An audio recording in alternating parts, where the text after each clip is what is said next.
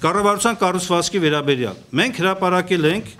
գուցե ձեզնից շատերը չեն տեսել այս տեսակետը փոխանցվել է նաև e-draft կայքեջին, որտեղ տեղադրված էր նախագիծը եւ որտեղ ցավոք մենք չնայած ունենք հաստատում էլեկտրոնային, որ մեր դիտողություններն ու առաջարկությունները բարեհաջող տեղ են հասել, բայց մենք տեսնում ենք, որ այդ դիտողություններն ու առաջարկությունները չկան ոչ միայն կառավարությունում ներկայացված տարբերակի ամփոփած հերթում,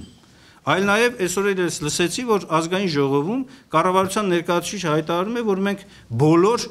դիտողություններին անդրադարձել ենք։ Չկա այդպիսի բան։ Չեն անդրադարձել մեր դիտողություններին, մեր առաջարկություններին։ Երկրորդը մենք համագործակցում ենք ազգային ժողովի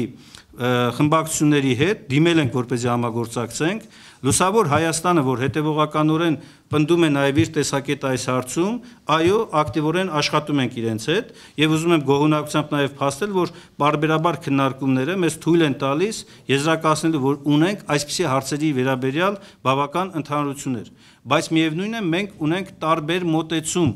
կառավարության կառուցվածքի վերաբերյալ այն նախագիծը, որ ներկայացված է ազգային ժողով, չի բավարարում մեր օրենսդրության պահանջներին մասնավորապես չկա ներկայացված ազդեցության գնահատումները։ Յուրաքանչյուր նման նախագիծ պետք է եւ պարտավոր է կառավարությունը իրականացնել բյուջետային, սոցիալական, տնտեսական, բնապահպանական, հակակոռուպցիոն գնահատում, թե ինչպիսի դրական կամ բացասական ազդեցություն է թողնում, որքան գործազուրկներ են առաջանում, ինչ սոցիալական ծրագրեր է իրականացում։ Դուք այս փաթեթում չեք տեսնի որևէ նման ազդեցության գնահատում։ Այսինքն դուք ներկայացնում եք մի բան, որ փոփոխության է ենթարկում պետական կառավարման մի հսկայական համակարգ, ու ասում եք մենք չգիտենք թե ինչ ազդեցություն է ունենալու։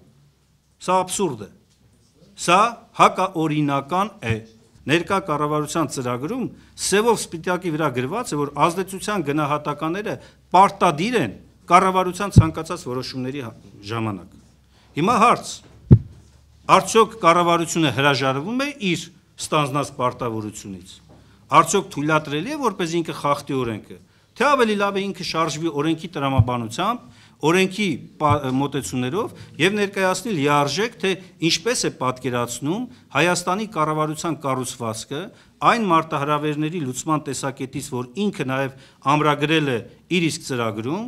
եւ բխում են եւ խնդիրներ, որոնք ու գործառույթներ, որոնք բխում են Հայաստանի սահմանադրությունից։ Անհրաժեշտ է, որպեսզի ոլորտը համակարգող,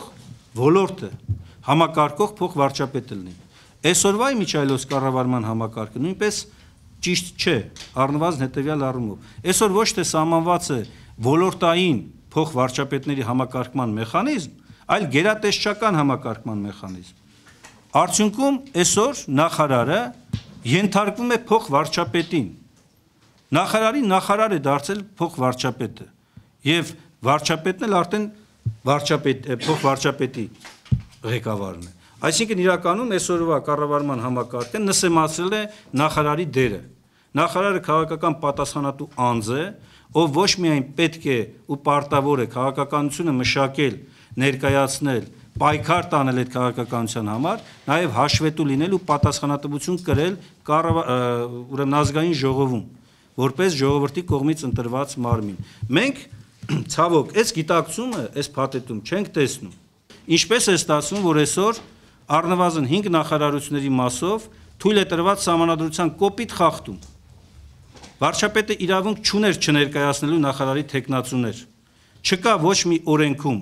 եւ ոչ մի համանդրական որևէ նորմում այդպիսի հնարավորություն, այդպիսի իրավասություն։ Երկրի վարչապետը որպես բարձրագույն պաշտոնատար անձ ենթակա է համանդրության 6-րդ հոդվածով նախատեսված պահանջի կատարմանը։ Այն է պետական մարմիններն ու պաշտոնատար անձինք իրավասու են իրավասու են կատարելու միայն այնպիսի գործողություններ, որի համար լիազորված են սահմանադրությամբ։ Ինչու ենք մենք մենք ասելով նկատի ունեմ կառավարությանը եւ իշխանությանը ամեն գնով փորձում խախտել համանadrությունը չշարժվել օրինականության սկզբունքով ինչն է խանգարում որ շարժվենք այս հարցի պատասխանները այդպես էլ մեզ համար անհասկանալի է։ Ազգային ժողովի падգամավորների առնվազն 1/5-ը կամ 27 падգամավոր կարող են այսօր պատրաստել փաստաթուղթ, դիմել համանդրական դատարան եւ վիճարկել թե վարչապետի անգործությունը, թե նախագահի անգործությունը։ Ոչ, համանդրությունը թույլ չի տալիս այդ հնարավորությունը։ Սա սա падգամավորների 1/5-րդի իրավասությունն է։ Մենք հրաապարակային ներկայացրել ենք այս հնարավորությունը։ Խնդրեմ կարող են դիմել, ընդ որում կարող են դիմել ոչ միայն падգամավորների 1/5-րդը, կարող է այս հարցով համանդրական դատարան դիմել նաև հանրապետության նախագահը եւ կառավարությունը։